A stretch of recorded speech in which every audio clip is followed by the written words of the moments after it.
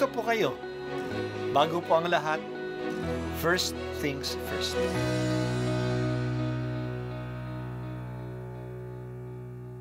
Good morning po. Sinisimulan po natin ngayon ang first things first. At dito po, tinatalakay natin sa unang bahagi ng umaga natin ay ang first readings na binabasa po sa banal na misa. Ito pong tinatalakay natin kasi madalas po kasi marami na tayong alam tungkol sa gospel readings. Pero konti po ang nagsasalita sa first readings. Pero ang first readings, bahagi din po yan ng Biblia, ng banal na kasulatan. Kaya susubaybayan po natin ang mga first readings, basahin po natin at kuminsan kailangan ng basahin ng dalawa o tatlong beses bago maintindihan kasi hindi po tayo sa familiar sa mga istorya at sa mga kaisipan na tinatalakay dito. Pagbasa mula sa aklat ni Tobit Akong si Tobit pag-uwi ko ng gabi ng Pentecostes. Pagkatapos ilibing ang mga patay, ay nakatulog sa aming bakuran. Hindi na ako nagtakip ng muka dahil sa init. Hindi ko na punang may mga maya palang nakahapon sa tapat ng himlayan ko. Ang mainit pang ipot ng mga ito'y pumatak sa aking mga mata at lumikha ng kulaba. Sumangguni ako sa mga manggagamot ngunit wala silang nagawa. Ang kanilang mga gamot na inilagay ay lalong nakapagpalubha hanggang sa ako'y tuluyang nabulag. Apat na taon akong hindi makakita at gayon na lamang ang pagkabahala ng aking mga kasamahan. Dalawang taon akong inalagaan ni Ahikar hanggang sa siya'y magpunta sa Elam. Ang asawa kong si Ana ay nagtrabaho bilang mga habi ng panahong iyon para kumita ng ikabubuhay namin. Pagkahatid ng kanyang mga ginawa ay binabayaran naman siya agad ng may-ari. Minsang nagtatapos ang panahon ng taglamig. Naghatid siya ng mga nayari niya. Nakuha agad niya ang buong kabayaran at binigyan pa siya ng kambing. Umuwi siya, akay ang kambing. Pagpasok niya, humalinghing ang kambing Kaya't nang marinig ko'y tinawag ko siya at sinabi, Saan galing ang kambing na iyan? Marahil ay nakaw ano? Hala, ibalik mo iyan. Hindi tayo dapat kumain ng nakaw. Ngunit ito ang tugon niya sa akin. Iyan ay dagdag sa upa sa aking ginawa. Hindi ko siya pinaniwalaan. Pilit kong ipinababalik ang kambing sa may-ari nito Galit na galit ako sa aking asawa dahil dito. Kaya't sinumbatan niya ako. Sinabi niya, Ngayon nasaan ang iyong pagkakawang gawa? Nasaan ang ginawa mong kapuri-puri? Sa wakas, lumabas din ang tunay mong pagkatao. Ang salita ng Diyos. Salamat sa Diyos.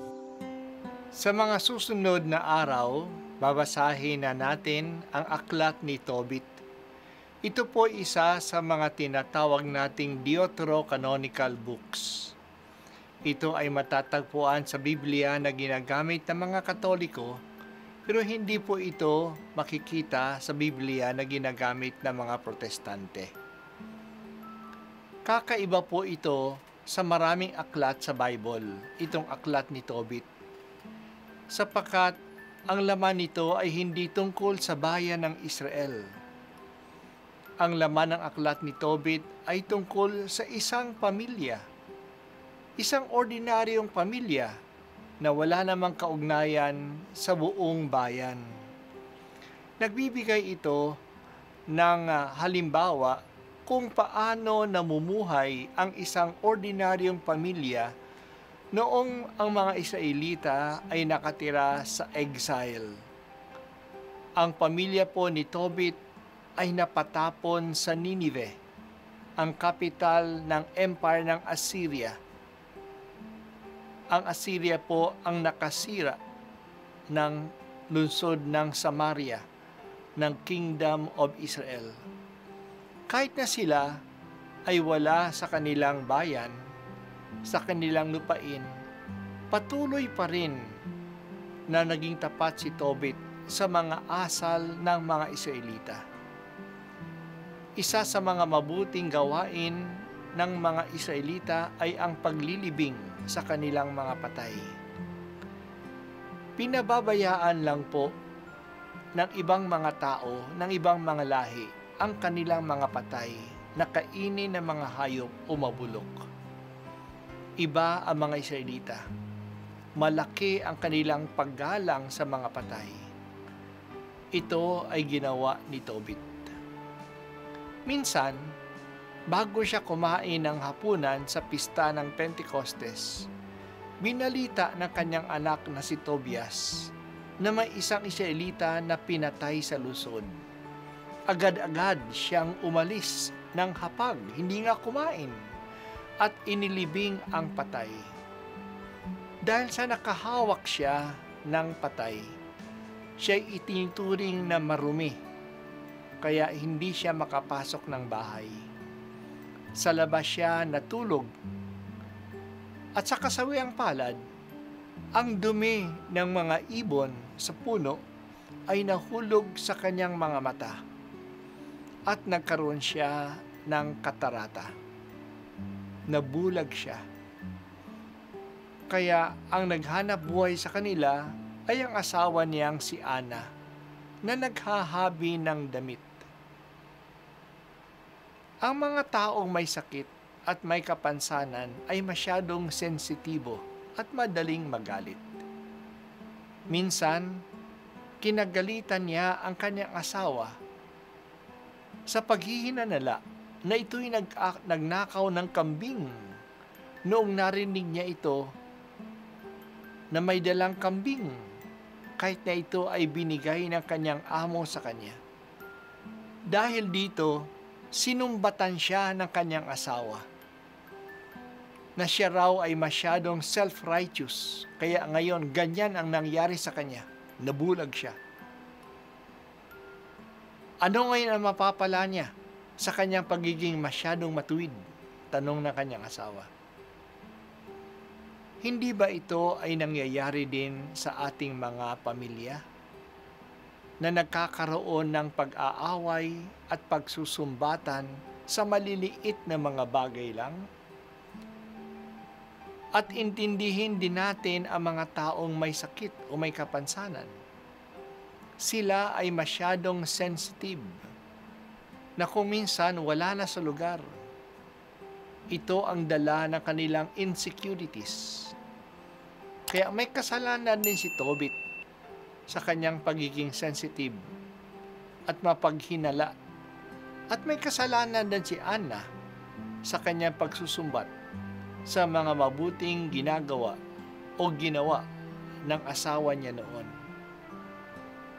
Ito ay pangkaraniwang pangyayari sa ating mga pamilya. Pero makikita natin ang sama ng loob at ang galit na nanggagaling sa ganitong alitan na naging dahilan ng pagdi-develop ng kwentong atyo. Pero makikita natin ang sama ng loob at galit na nanggaling sa ganitong alitan at ito naging dahilan ng pag-develop ng kwento natin. Sana ang mga away sa ating pamilya na madalas ay maliliit lang naman. Ang dahilan ay hindi magdala ng tuldok sa buhay natin. Huwag nating sabihin, Sige, ayaw ko na sa'yo. Iwan na kita Tapusin na.